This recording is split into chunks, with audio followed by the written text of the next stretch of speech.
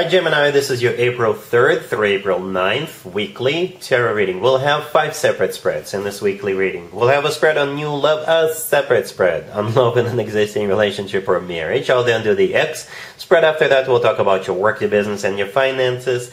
And uh, at the end, we'll see what you're not expecting to happen this week. Please like, share, and subscribe to support this channel.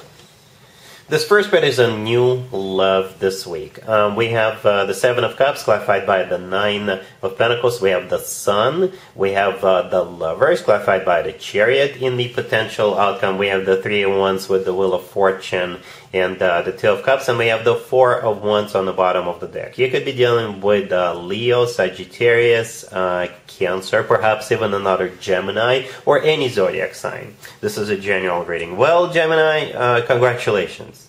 Somebody is madly in love with you. Somebody is bedazzled by you.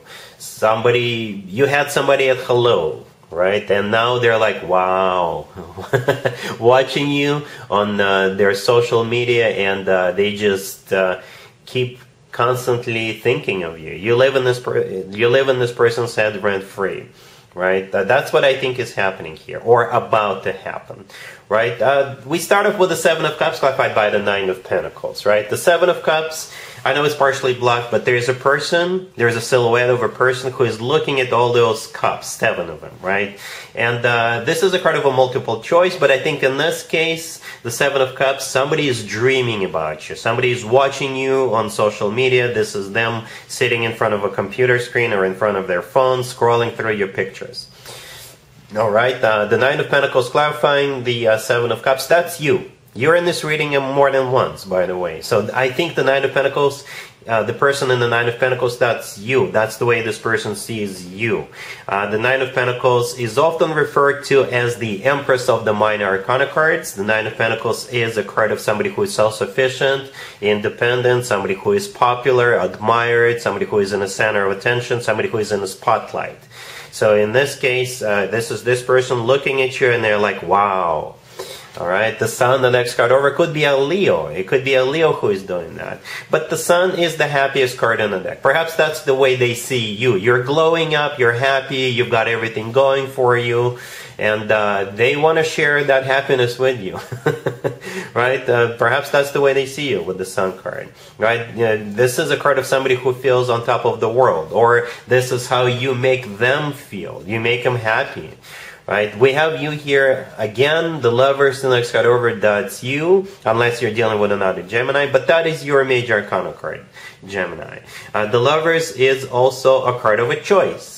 Right, so I think when this person comes towards you, uh, you will have a choice as to what you want to do with this, right? And besides that, as some of you may already know, the same card could be interpreted multiple ways, even in the same spread. The Lovers is just an amazing card to have overall. It's not only your card, it's not only a choice card, but in my opinion, it's the best card when it comes to the actual love connection between two people. It's a card of a soulmate connection. It's a card of um, uh, twin flame connection if you believe in twin flames, and the lovers could simply be the lover of your life. All right? Yeah.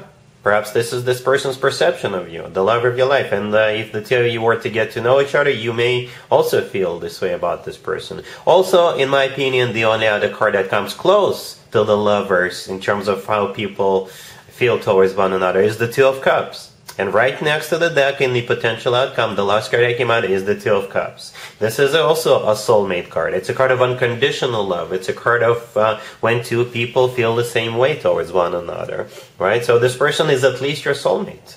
That's why they're so attracted to you. One of the reasons, right? um, the Chariot clarifying the Lover's card could be uh, Cancer you're dealing, but the Chariot is a card of victory and success right? So perhaps this person really wants to have a victory. They really want to win you over. And uh, the chariot could also be a card of travel. Perhaps travel is somehow a part of this equation. And uh, besides that, the chariot is actually moving forward and not looking back. All right? In the potential outcome, besides that uh, Two of Cups that we already talked about, we have the Three of Wands with the Wheel of Fortune, and uh, on the bottom of the deck we have the Four of Wands. So we got the Three of Wands and the Four of Wands. The Three of Wands is a card of somebody who made up their mind, somebody who made a decision to move forward, and after that there is no turning back. right? The Wheel of Fortune is the start of a cycle, since the Wheel of Fortune is in the potential outcome. It's a new cycle and the next level up. The Wheel of Fortune is always good news in my spreads. The Wheel of Fortune could also be a card of travel or relocation, but it's a great card to have. And on down the bottom of the deck, we have that Four of Wands, right? The Four of Wands is often referred to as the 1111 card. It's one of the commitment to marriage cards. To me, this uh, card always reminds me of an actual wedding. Because in some cultures, when people get married, they do it underneath the structure with the leaves and branches on top of it. I'm sure you heard me say that before if it's not the first time you're watching me. Uh, but, it, uh, you know, it is a card of a commitment to marriage. So yeah, uh, somebody is head over heels. and uh, you'll be hearing from this person this week.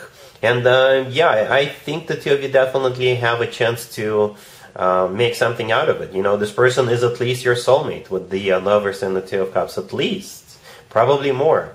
Right? Uh, this looks awesome. Gemini, I'm not even going to do an extended for you. Will be, it will be a waste of time. Really happy for you. Congratulations. Gemini, if you are already married or if you're in a relationship, this spread is for you. Uh, we have the Queen of Cups, the Nine of Wands, uh, the Four of Cups, clarified by the Four of Pentacles, and we have the Six of Swords on the bottom of the deck. You could be dealing with a water sign, Cancer, Scorpio, or Pisces. So you got this Queen of Cups, and uh, you don't want to do what they want you to do. All right? You're rejecting them. I don't know who this person is to you. Could be your boyfriend, your girlfriend, husband, wife, your neighbor, your sibling, um, a friend, uh, or some other family member, right? But uh, I did not even bother clarifying any anything else besides the Four of Cups. Uh, but uh, what what it's telling me is that this Queen of Cups is going to show up in your life, or they are already in your life, and you're you're like, um, thanks, but no thanks, right? Perhaps they want to go somewhere with you, or they want you to uh, you know accommodate them if they want to come over and stay with you or whatever. You're not, you don't want to deal with this person. Most likely, it's all it's all because of your uh, negative experience with this person, right? Because the Nine of Wands, the next card over, right next to the Queen of Cups, this is a card of a wounded warrior, right? So you're you're like, um, you know, no, and uh, that's why you're rejecting them. The Four of Cups, the next card over, is a card of a rejection. This is you saying no to them. The Four of Pentacles, clarifying that this is you remaining closed off. Um, the Six of Swords on the bottom of the deck. Um, perhaps again, this person wants you to go somewhere with them. The Six of Swords could be a card of travel. Um, but it could also be you turning you back to this person and, uh, you know, distancing yourself from them. All right? Cool. Let's see if anybody comes back from the past for you, uh, Gemini, this uh, week. We have uh, the King of Swords clarified by Death. Uh, we have the Ace of Swords clarified by the Ace of Cups. Uh, we have uh, the Empress and the Nine of Cups on the bottom of the deck. You could be dealing with a fellow air sign, Gemini, Libra, or Aquarius. We also have um, Scorpio on the table. So you got this King of Swords coming back to you, Gemini. So it could be an, an air sign, Gemini, Libra, or Aquarius. I don't think that's you. Um, I think you're the Empress, Gemini. We'll agree with that, right? anyway, the King of Swords is clarified by death. So they may have Scorpio in their chart. Or it could be a Scorpio embracing the energy of the King of Swords. In this case, it's a very decisive, very honest energy. Perhaps for some of you, uh, this King of Swords went through some kind of a transformation in their life and they're going to share their story with you, right? They're going to be very honest with you either way. We'll get to that in just a second. But that could be a transformation, right? Perhaps this person went to up, went up into the monastery and now they're back. Um, but uh, the death card again, some kind of a transformation. You you two can discuss this, but again, I think they will tell you. They will share their story, what just happened to them with the death card. Right, and here they come with that Ace of Swords clarified by the Ace of Cups, one Ace clarified by the other. That doesn't happen that often. The Ace of Swords is the Ace of Truth, the Ace of Clarity. Um, so with the Ace of Swords, they're not going to be beating around the bush. They're not going to be playing or fooling around. They'll tell you straight up everything that happened to them. Again, they will share their story with you, what kind of what changed in their life in a major way. Um, perhaps they've changed, right? If they were non-committal, they will want to commit. If they uh, resisted their love to you, they're definitely ready to embrace it. Speaking of love, the Ace of Cups, clarifying the Ace of Swords, yeah, this person loves you, and they will definitely make that statement, right? They, they do love you. I think that you will have a very long conversation. One of the things they'll tell you is that they love you with that Ace of Cups. Again, you're the Empress, right? Uh, that's the way they see you, right? Uh, they're now they're putting you up on a pedestal. They're loving you, cherishing you. They see you as their future uh, significant other. Uh, they perhaps see you as their is the is your is their future mother of children, right? The Empress is a kind of a mother figure, wife figure, significant other figure. Right, that's the way they see you. Right, the Nine of Cups on the bottom of the deck is a card of a wish come true. It's also a card of personal satisfaction and fulfillment. And I think you're going to be feeling really good about this, no matter how you decide to proceed. And it's going to be up to you how you want to proceed here. All right? Cool. Let's talk about your work, your business, and your finances, Gemini, this week. We have Judgment, uh, we have the Ace of Pentacles, uh, the Fool, and uh, we also have the Star on the bottom of the deck. Um, you could be dealing with an Aries um, or an Aquarius. Um, here's the deal. We have Judgment, the first card that came out. That card could be interpreted a couple of different ways, right? Judgment could be literally somebody making a judgment call. If you've been applying for jobs or if you've been up for a promotion, right? They're making a judgment call to extend you that job offer or extend you that promotion. Um, it could be somebody coming back from the past. Judgment could be a card of somebody coming back from the past. perhaps uh, somebody will offer you your old job back, or perhaps somebody you used to work with, they started at another company, at a new company, and that new company has an opening and they thought of you. Okay, so here comes the Ace of Pentacles. It's a golden opportunity. It's the real deal. Something that's going to be around for a while. Something that's got a long-term potential. Right? And I think you'll be uh, able to see it and you're taking it. The Fool right next to the deck could be an Aries you're dealing with, but I think with the Fool card, you're taking it.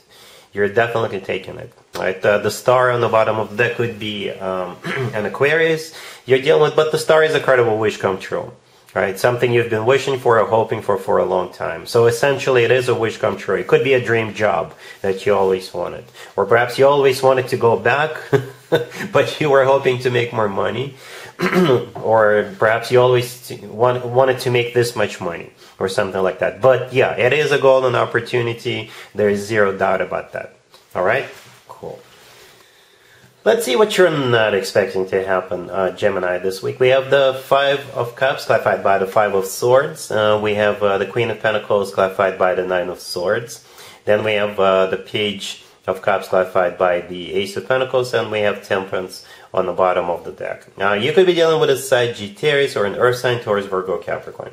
Uh, you got this Queen of Pentacles uh, coming back to you. They want to get back into your good graces. They want to reconnect with you. They want to get back together with you, depending on what type of a relationship, what type of affiliation you had with this person.